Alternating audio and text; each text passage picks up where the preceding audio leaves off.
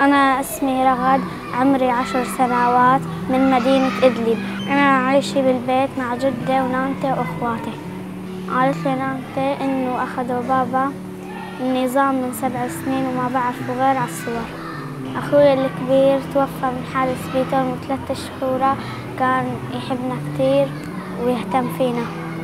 أنا بحب هاي المدرسة لأني معلماتي بيحبوني ورفقاتي بيحبوني وأنا بحبهم بحب الرياضيات لأنيتو آنستي بتعلمني بطريقة كويسة وبس كبرت بدي أصير آنست رياضيات.